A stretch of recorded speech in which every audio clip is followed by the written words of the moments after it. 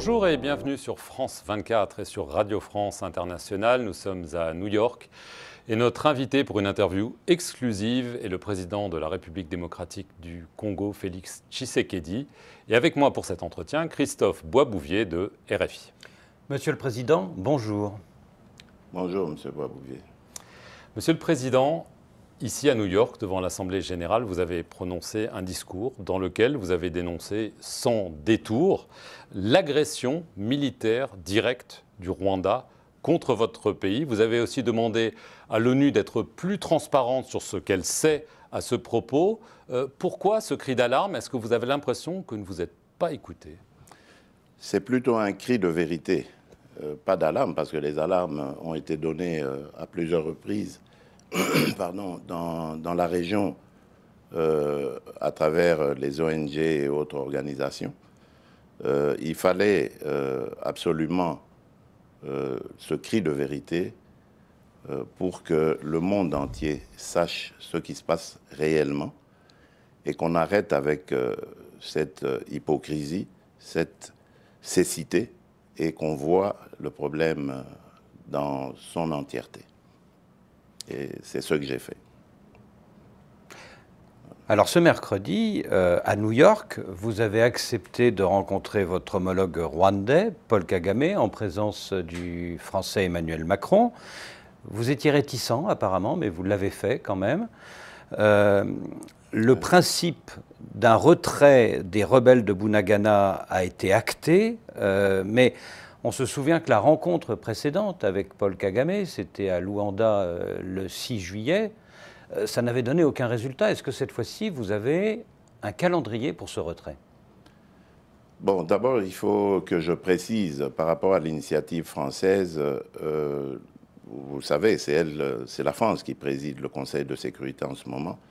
Et le président Macron avait pris contact avec les deux chefs d'État, donc euh, avant l'Assemblée générale, pour qu'on prenne rendez-vous ici à New York et qu'on parle de, ce sujet. Donc, euh, de ce côté-là, euh, il n'y avait aucune objection de ma part. Et puisque je vous ai dit que mon but ici était de venir lancer un cri de vérité, j'ai continué sur cette même lancée dans, euh, dans cette réunion que nous avons eue autour euh, du président Macron, le but étant d'obtenir, dans un premier temps, le cessez-le-feu et le retrait inconditionnel de Bunagana des M23, mais ensuite euh, de rentrer dans le processus de paix tel que nous l'avons décidé à Nairobi, c'est-à-dire avec la fin totale des violences à l'est de mon pays. Et bon, en termes de calendrier, il n'y a pas vraiment un calendrier euh, précis, mais il dépendra du déploiement de la force régionale euh, qui est en train d'arriver. Le Burundi est déjà là, le Kenya, euh, c'est pour bientôt, et la situation se clarifiera à ce moment-là. Alors, évidemment, la, question qui se pose aussi, qui a été abordée lors de cette réunion, ce sont aussi les rebelles hutus-rwandais du FDLR. Le Rwanda dit depuis des années, attention, c'est un danger pour nous, c'est une menace pour nous, et en plus, l'armée congolaise laisse faire, voire plus. Est-ce que vous vous êtes engagé sur ce problème, ou est-ce que vous pensez que c'est une fausse excuse du Rwanda? C'est une fausse excuse, mais par rapport à, ces accusations, je trouve que le Rwanda est de mauvaise foi et qu'il utilise souvent ce prétexte pour justifier ses, incursions en République démocratique du Congo. Depuis que je suis à la tête de mon pays, nous avons rapatrié à deux reprises des centaines de combattants des FDLR. C'est quand même une preuve de bonne foi. Euh, et aujourd'hui, les FDLR, c'est une force résiduelle qui ne menace plus la sécurité du Rwanda. Vous avez dit elle ne menace plus la sécurité du Rwanda, en tout cas. Les FDLR sont plus un problème pour nous, Congolais, que pour les Rwandais. J'en veux pour preuve l'assassinat de l'ambassadeur euh, d'Italie en République démocratique du Congo au mois de janvier de l'année dernière, M. Luca Atanasio, qui avaient été euh, tués par des, FDLR, qui sont devenus aujourd'hui des coupeurs de route, des bandits de grand chemin, et qui n'ont plus d'idéologie politique visant à regagner le pouvoir euh, à Kigali. Donc c'est un faux prétexte. La vérité, elle est ailleurs, et c'est ça que le Rwanda doit dire. Voilà. Le, Rwanda accuse aussi un certain nombre d'hommes politiques congolais et d'autorités locales de tolérer, voire d'encourager des attaques contre des populations tutsi congolaises. Euh, quelles mesures vous comptez prendre pour empêcher que cela continue, notamment sur les réseaux sociaux et quelquefois dans la rue? Les mesures euh, ont déjà été prises déjà par la Constitution.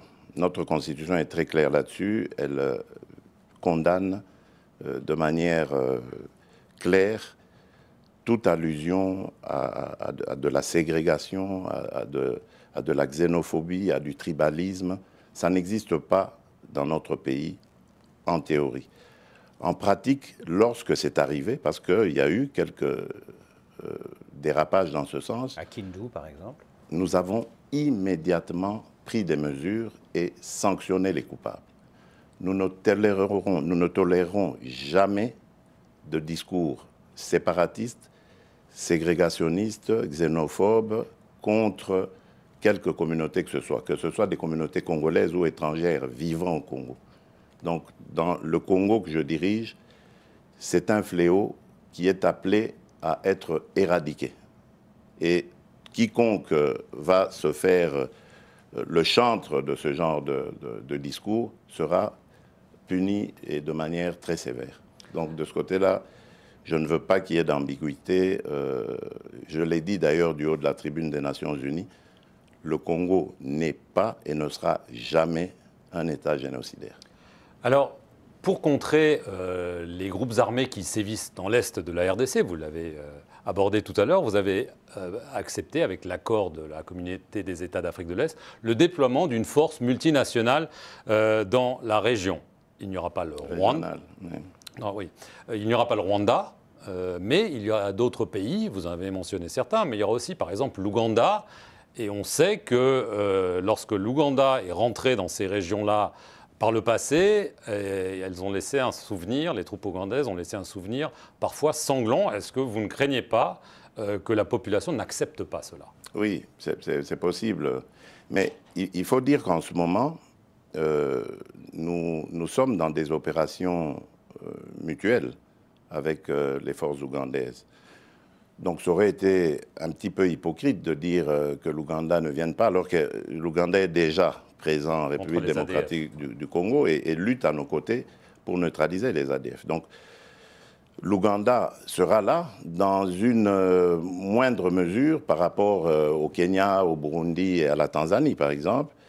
Mais c'est parce que c'était déjà une réalité, c'était un fait qu'on ne pouvait pas nier. Alors quand est-ce que cette force sera totalement déployée et combien d'hommes seront sur votre sol? Mais je vous ai dit que la force est en train d'être déployée. Les Burundais sont là déjà dans le sud Kivu. Les Kenyans sont, à mon avis, euh, c'est une question de jours. Ils vont d'ailleurs, pour votre information, entrer par Bunagana. Donc euh, ça se déploie petit à petit en fonction des moyens aussi. C'est pour ça que nous étions ici aussi et que nous avons pris des contacts. C'était pour sensibiliser euh, les bailleurs de fonds afin d'accompagner cette, euh, cette, force régionale. Et donc, si les Kenyans tombent sur le M23 à Bunagana? Ben Voilà, vous, savez ce qui va arriver au M23. Depuis plusieurs mois, dans l'est du Congo, les casques bleus de la MONUSCO sont violemment pris à partie par les populations qui les accusent de ne pas les protéger. Il y a eu des morts en juillet. Euh, dimanche, euh, Antonio Guterres, le secrétaire général de l'ONU, a reconnu sur nos antennes euh, que la MONUSCO était moins armée que le M23. Est-ce que vous demandez un retrait accéléré de cette MONUSCO avant l'année 2024 Bon, d'abord, permettez-moi de dire que c'est vraiment avec peine que nous avons vécu ces, ces, événements malheureux que, l'on voyait quand même venir. Parce que depuis un certain temps, donc depuis euh, l'agression euh, euh, par le Rwanda à travers le M23 de la République démocratique du Congo, on avait un discours assez ambigu de la part de, de, la MONUSCO, qui ne désignait pas l'agresseur, qui évitait de le dire, et qui par moments se disait même incapable, alors que c'est sa mission d'être d'évoluer aux côtés des, forces armées congolaises, se disait incapable, voire même euh, refusait des fois euh, d'épauler les forces armées congolaises. Et donc tout cela, je crois, a concouru à, cette tension qui, malheureusement, sûrement à cause d'ailleurs de quelques manipulateurs, a, dégénéré. Hein, il y a eu une, succession de maladresses qui a fait que, bon, on est arrivé euh, malheureusement à ces, événements. Et cela doit nous faire réfléchir justement sur la euh, mission, le rôle de, la mission onusienne au Congo. Et, c'est à ça que j'avais invité le secrétaire général euh, lorsque je l'ai rencontré ici, euh, Guterres, à, faire comme exercice. Nous devons regarder le rôle que la MONUSCO doit jouer, parce qu'il lui reste très peu de temps, et pouvoir ainsi partir, faire partir la MONUSCO sur une note beaucoup plus gaie, beaucoup plus honorable que celle euh, auquel nous avons euh, assisté en ce moment. Donc pas de départ accéléré Il n'y a pas encore euh, de, calendrier de, départ comme tel, mais je pense bien que la MONUSCO devra partir avant le, le délai prévu, c'est-à-dire 2024. À mon avis, au-delà des élections de décembre 2023, je crois qu'il n'y aura plus de raison que la MONUSCO... Donc la MONUSCO resterait jusqu'à la fin des élections et partirait après À mon avis. Mais ça, je, mentirais si je, vous disais que c'est quelque chose qui a été convenu. Il n'y a, pas, encore eu de discussion euh, sur, euh, sur la question.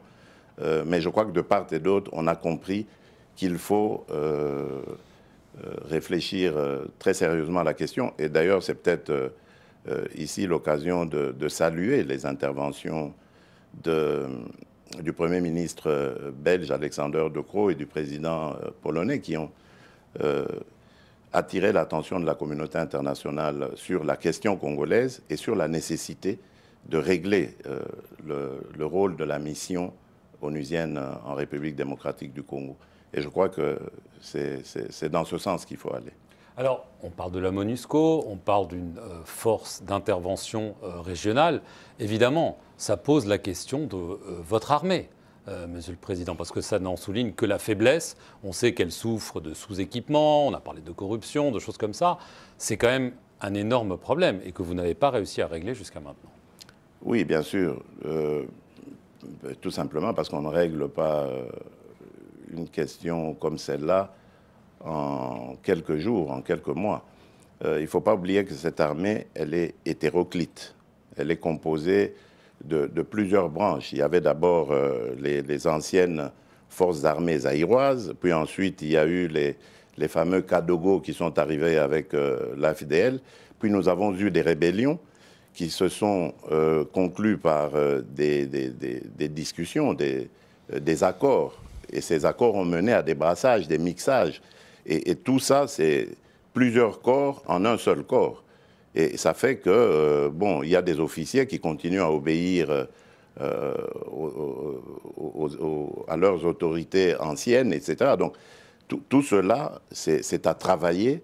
Euh, il faut purger, séparer le, bon grain de l'ivraie, et ainsi de suite. Donc, voilà, c'est un travail de, de longue haleine euh, mais qui, a, qui est, euh, en tout cas pour lequel j'ai beaucoup d'espoir, parce que là maintenant nous avons la loi de programmation euh, militaire qui va nous conduire à mieux prendre en charge les besoins de notre armée et donc faire plus attention à son fonctionnement, savoir qui sont les éléments qui peuvent continuer leur carrière là-dedans et qui qu'il faut extirper pour impulser une, nouvelle dynamique. Donc c'est un travail de, longue haleine dont le résultat ne, sera pas euh, immédiat. Voilà pourquoi nous devons pour le moment recourir, nous appuyer à des, forces amies qui peuvent nous accompagner dans, cette tâche. Parce que dans cette armée, il y a de la bravoure, il y a, vraiment des éléments qui, qui méritent euh, l'hommage euh, de, la nation. Et ils sont plus nombreux que les brebis galeuses.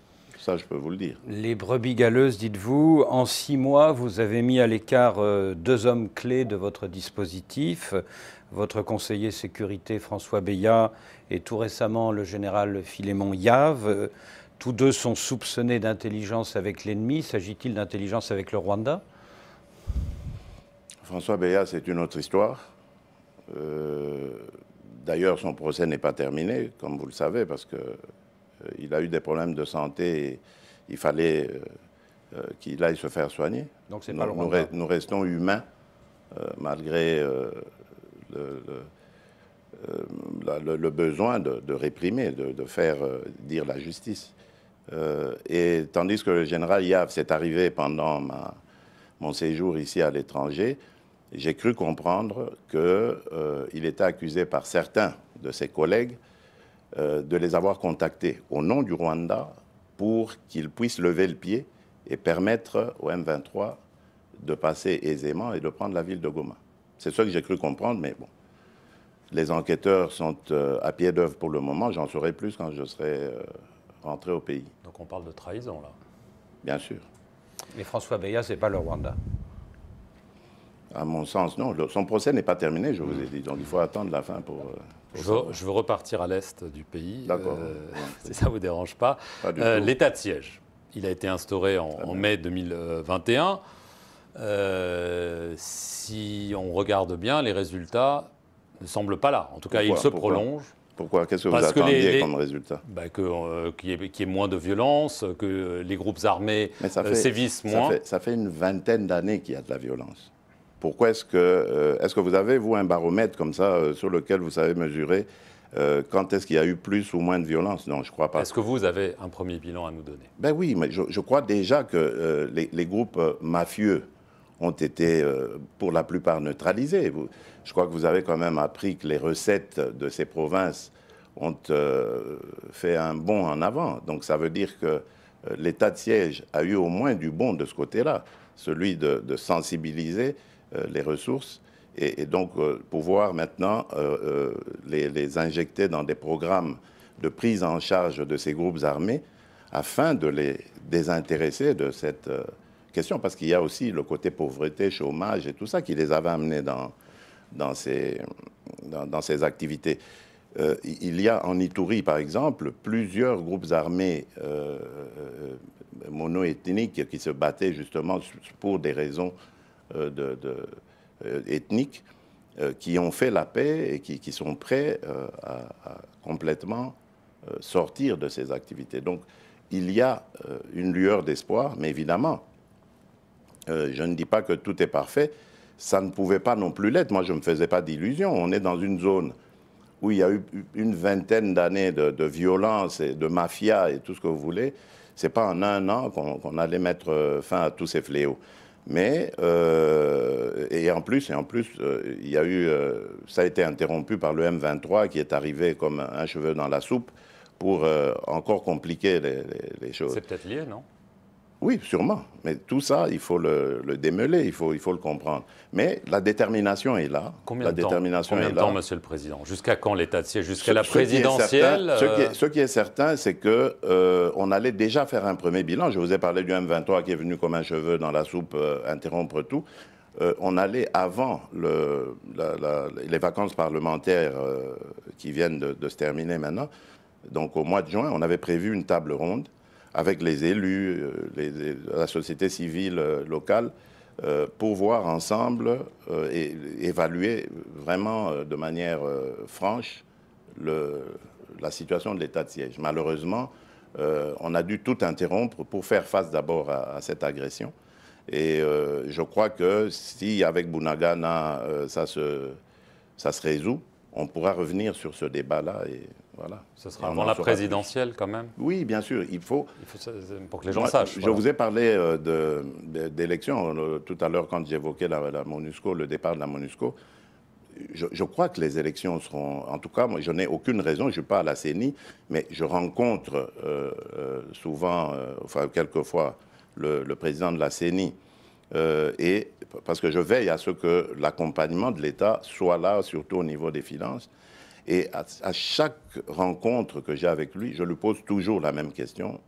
que j'appelle maintenant question traditionnelle, c'est-à-dire est-ce que les élections seront organisées dans les délais? Il m'a dit il n'y aura aucun problème. Donc je n'ai pas de raison de douter de lui, c'est lui l'expert.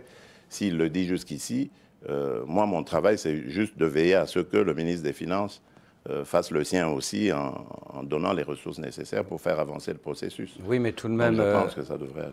Oui, mais tout de même, Monsieur le Président, il y a ce rapport du PNUD révélé par Africa Intelligence qui dit que le scénario d'un report est désormais probable. Il y a le fait qu'il n'y a pas de calendrier électoral encore pour l'instant. Faites, faites très attention à ce qui a été publié là. Faites très attention parce qu'il y a eu beaucoup de manipulations. J'ai vérifié auprès des responsables du PNUD eux-mêmes ils n'ont pas affirmé cela. Ils m'ont dit très clairement qu'ils n'ont jamais émis d'avis pessimiste. Jamais. Donc ça, c'est une récupération qui est sûrement euh, l'œuvre de, nos opposants. Hein. Et aujourd'hui, euh, on sait comment on peut manipuler les médias et tout ça. Donc euh, voilà, c'était ça le but. Mais il n'y a pas de Parce qu'il y a des forces obscures en République démocratique du Congo qui ne veulent pas de ces élections. si vous voyez ce qui se passe, par exemple, à l'Ouest aujourd'hui, qui ressemble euh, presque euh, comme deux gouttes d'eau à ce aux violences qu'on voit à l'Est. Dans le mail Ben voilà, donc euh, c'est clair. Mais il n'y a pas de calendrier. Il y a une main noire qui veut saboter. Le calendrier viendra. Ce n'est pas le calendrier qui. On est à plus d'un an encore des élections. Ce n'est pas, pas, pas le calendrier qui va, qui, va, qui va faire les élections. Ce sont les électeurs. Il faut les enrôler. Il faut les, les... Voilà, c'est ça qui est plus important pour moi. Le calendrier, on peut le faire en dernier lieu, en dernière minute. Alors, l'opposition. Oui. L'opposition euh, vous accuse euh, d'avoir placé à la tête de la commission électorale, la CENI, et à la tête de la Cour constitutionnelle des hommes à votre main, et donc de vouloir verrouiller euh, le scrutin et être sûr d'être réélu, parce qu'on sait que vous allez vous représenter. Je, je trouve que c'est une insulte à l'intelligence de ces deux grands hommes, et je ne suis pas le seul à le dire. Euh, le, background de Denis Kadima, par exemple, en termes euh, d'élection, euh, n'est pas. C'était le meilleur d'ailleurs. Il avait le, meilleur profil de tous les candidats présidents. Donc je ne suis pas le seul à le dire. Et je crois qu'aujourd'hui, cette question est vidée parce que même cette fameuse opposition reconnaît en lui sa valeur.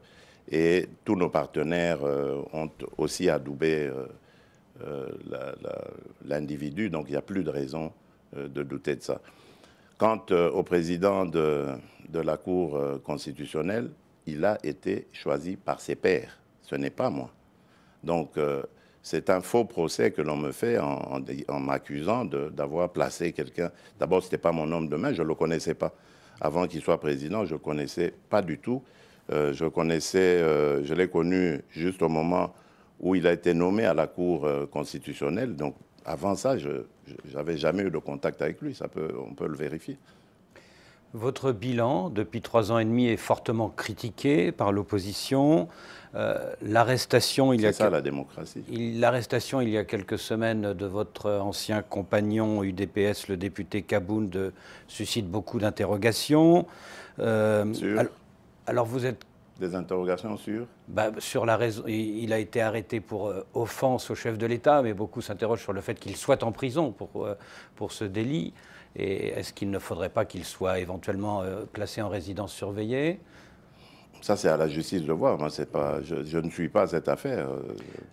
Vous êtes donc candidat en 2023, mais est-ce que des opposants euh, des personnalités comme Martin Fayoulou, qui continue de revendiquer la victoire de 2018, comme Moïse Katumbi, comme qui sait un, candidat pro-Kabila, sans parler de Matata Pogno. Est-ce que, euh, est-ce que ces gens-là ne risquent pas de vous mettre en difficulté sur le thème il faut sortir le sortant, il faut un changement? C'est le peuple qui décidera. Pourquoi est-ce que vous voulez que moi je, me mette à spéculer sur... Euh, je ne suis pas Dieu le Père ne connais pas l'avenir.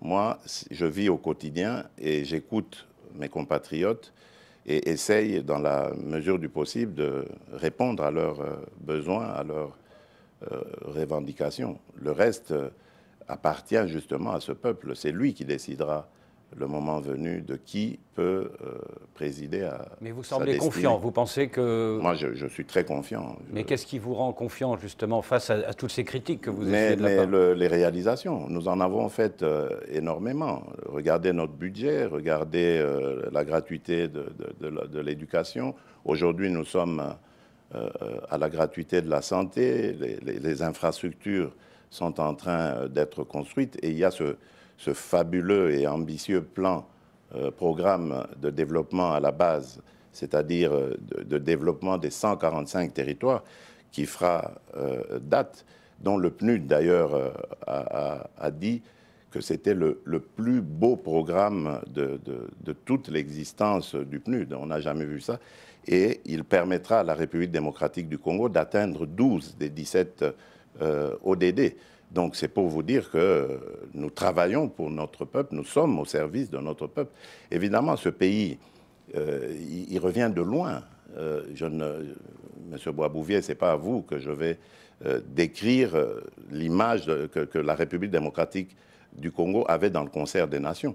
Ne fût-ce que pour entendre la voix de la République démocratique du Congo, c'était impossible. Euh, ça- À le pays était oui. devenu aphone. À une époque. oui. Et on- nous avons réussi à ramener euh, le pays à l'agenda euh, euh, international. Aujourd'hui, on parle de la RDC, on parle de nous comme pays solution euh, dans- au niveau environnemental. On parle de nous euh, comme euh, euh, pays d'avenir, parce que nous avons une jeunesse euh, euh, formidable, ingénieuse, qui est prête, qui est très dynamique, prête à, à- à servir. Il faut, il faut simplement encadrer tout cela, et c'est à cela que nous, nous nous attelons, et nous sommes convaincus que euh, les choses, euh, le moment venu, vont être appréciées par nos compatriotes, et ils nous renouvelleront, renouvelleront leur confiance. Donc il n'y a vraiment pas de pas d'inquiétude de ce côté-là. Excusez-moi, j'ai juste une C'est toute- pour ça que l'opposition a peur d'aller aux élections, d'ailleurs. J'ai juste une petite question sur quelque chose que vous avez dit qui m'a intrigué. Vous avez parlé d'une main noire. Oui, bien sûr. Mais vous parlez quoi de, de possibles coups d'État, de Bien déstabilisation sûr, bien sûr, mais il y a ça. Il y a, il y a- par bien des sûr. puissances étrangères ou Non, euh, oui et non. Enfin, on est en train de- d'élucider la question. Les arrestations euh, que vous voyez là, euh, dont on a parlé dans l'armée, ne sont pas le fait du hasard. Il y a réellement une main noire.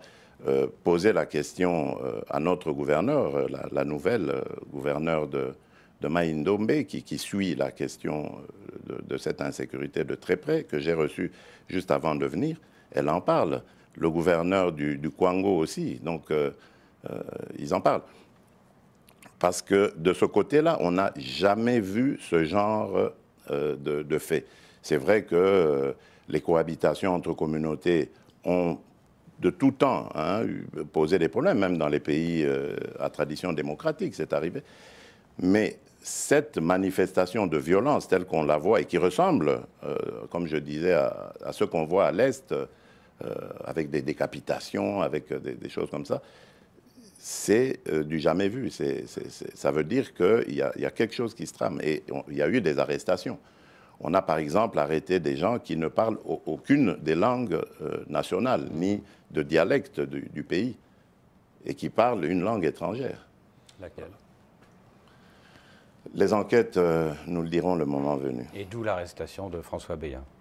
Ah non, non, non, ça c'est... euh, François Béat, c'est arrivé avant, ça n'a rien à voir avec... D'où l'arrestation, peut-être, euh, du, du général Liave, oui. On, on fera, en tout cas, on verra quel lien euh, euh, ça a avec, euh, avec ces événements-là. Merci, Monsieur le Président, de nous avoir accordé cet entretien. C'est moi, c'est moi qui vous remercie. oui. Et merci à vous de nous avoir suivis sur nos deux chaînes, France 24 et Radio France Internationale.